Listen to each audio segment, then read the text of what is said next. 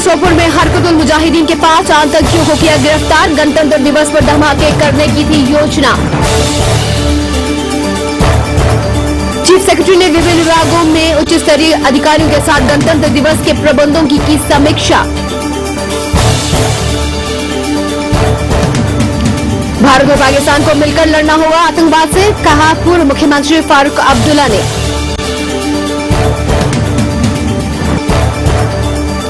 और नेताजी सुभाष चंद्र बोस के 119वें जन्मदिन पर राष्ट्र ने उन्हें दी श्रद्धांजलि।